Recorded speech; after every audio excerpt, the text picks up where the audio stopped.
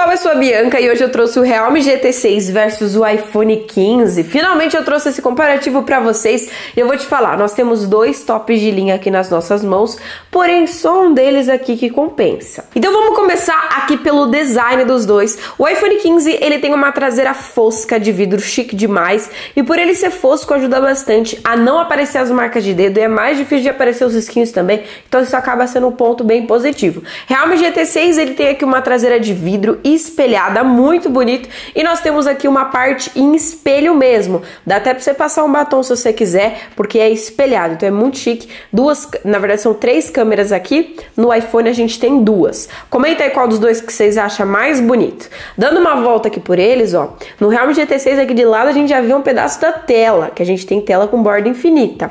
Aqui nós temos o botão Power nos dois, que é o botão de ligar e desligar. Aqui no Realme é o botão de volume também. Na parte de cima nós temos o microfone no Realme, o infravermelho também. E no, no, no, iPhone não tem nada aqui em cima. Porém, em cima da câmera de selfie nos dois, a gente tem uma saída de som.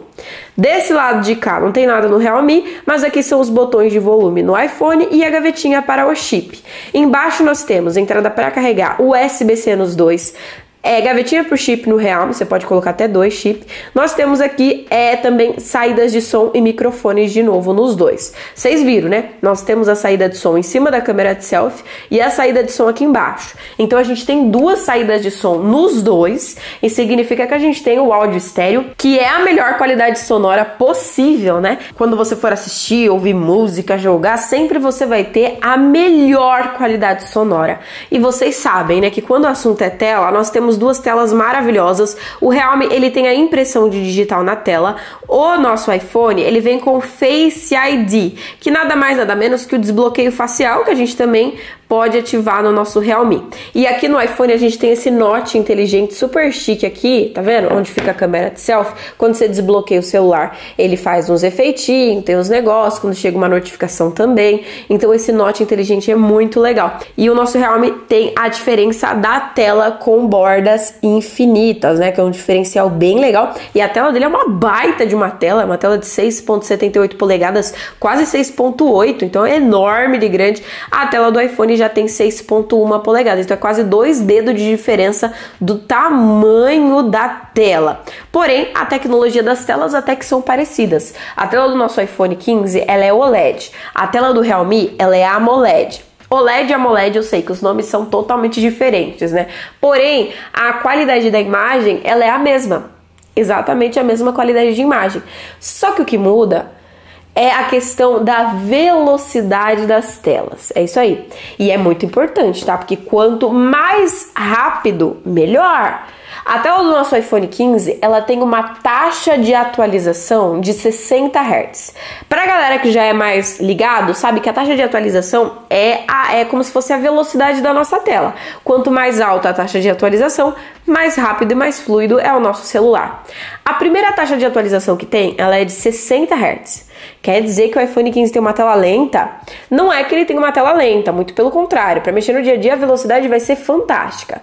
Porém, na hora de você jogar, ela é muito menos fluida do que a tela do Realme, que já é de 120 Hz. Já é uma tela gamer. De 60 para 120, a gente tem uma diferença bem grande. Então, a tela do Realme é mais rápida do que a tela do iPhone. Ah, e você sabia que o nosso Realme tem uma das telas mais é, com brilho mais alto do mundo? Você consegue enxergar tudo, mesmo você estando na luz do sol. Tanto se eu coloco uma imagem aqui com cores brancas, estoura na câmera câmera, porque é tão alto o brilho que nós temos aqui, né? Infelizmente no iPhone nós não temos.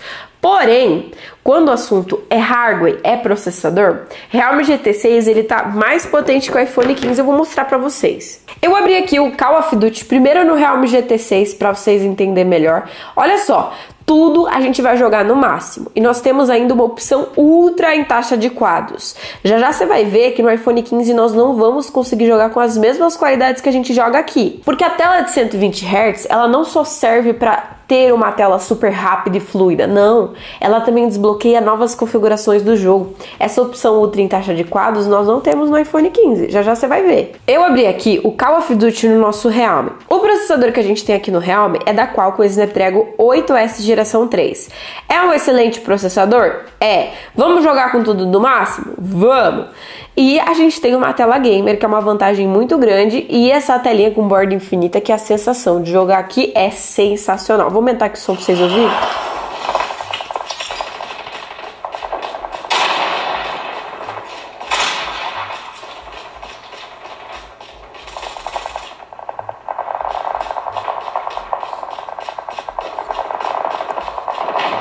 Contact with enemy.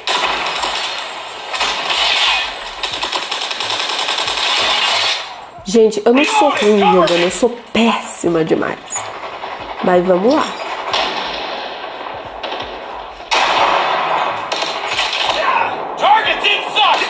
Morri.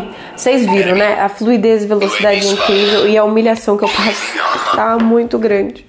Eu abri aqui o Call of Duty no nosso iPhone 15 e olha só, a gente joga com tudo no máximo, mas não temos opção Ultra em taxa de quadros. Vocês viram, né? E o iPhone 15 está um pouquinho mais caro do que o Realme, né?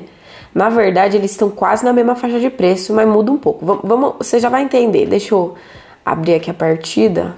O processador aqui do iPhone 15 é o A16 Bionic, o mesmo processador que a gente tem no iPhone 14 Pro. E aqui muda a questão da velocidade da tela e tudo mais. Porém, o iPhone 15 sai muito bem também. E a diferença entre os dois, ela não é muito grande em hardware. Porém, o nosso o nosso realmente tá mais potente que o iPhone 15. E como ele tem uma tela mais rápida, acaba compensando bem mais. E isso porque eu nem entrei no assunto de bateria, porque você sabia que aqui nós temos 5.500 mAh de bateria. Ele tem uma bateria que pode durar dois dias. Na verdade, na semana, em cinco dias, você carrega ele duas vezes na semana. Você tem noção? É uma bateria muito grande. Dá para dar vender. E outra coisa, olha o carregador que vem com o nosso Realme ele é de 120 watts. Você usa para carregar o notebook se você quiser. É, você carrega seu Realme de 0 a 100% em 20 minutos e ainda vem o cabinho, tá? Infelizmente nos iPhones, né? Quanto mais caro o celular, mais eles não vêm com coisas. E no iPhone a gente não tem cabinho nem carregar. E no iPhone a gente não tem carregador, infelizmente. Mas o cabinho vem. O iPhone 15 ele teve uma queda de preço. Na verdade, ele era um celular que estava em uns 6 mil reais. E agora ele está sendo vendido por 4.800, 4.700 reais mais ou menos. Então teve uma queda de preço legal, claro. E o nosso Realme GT6 ele ainda está em fase de lançamento. Porém, ele também está uns 4.500 reais. Então a gente está na mesma faixa de preço. Em processador, o Realme é mais potente, tem uma tela mais rápida. Então, óbvio que ele vai compensar mais para jogar. Porém, câmeras, a gente vai ter que analisar vendo as fotos. A câmera padrão do iPhone 15 é de 48 megapixels, do Realme é de 50, e elas estão muito boas igualmente. Na verdade, as duas câmeras, elas têm o mesmo sensor da Sony, por isso que elas estão tão boas. Nós temos lente grande angular mais macro nos dois, uma grande angular mais macro de 8 no Realme, uma grande angular mais macro de 12 no iPhone, e nós temos mais uma no Realme que é uma lente telefoto de 50. A câmera de selfie do iPhone é de 12 megapixels, do Realme é de 32 megapixels. E aí, o que, que vocês acharam? Comenta aí porque eu quero saber a sua opinião. E vocês viram, as câmeras elas estão mais ou menos no mesmo patamar também. É isso aí, o iPhone 15 normalmente ele ganha de lavada na maioria dos smartphones, mas do Realme GT6 não, ele está no mesmo patamar. Só que o Realme ganha algumas vantagens aí pela questão da tela, da velocidade, do tamanho, da impressão de digital, da bateria, do carregador, né? Essas são as vantagens que a gente está tendo. E aí, qual dos dois que vocês mais gostaram? Em relação ao custo-benefício, o Realme GT6 ele tá compensando um pouco mais que o iPhone 15. Vou deixar os links do mesmo lugar que comprei o meu aí na descrição para vocês poderem pagar barato e ainda comprar com garantia e segurança, que é o mais importante, com frete grátis que ajuda bastante também. Deixa o like, se inscreve aí e até a próxima.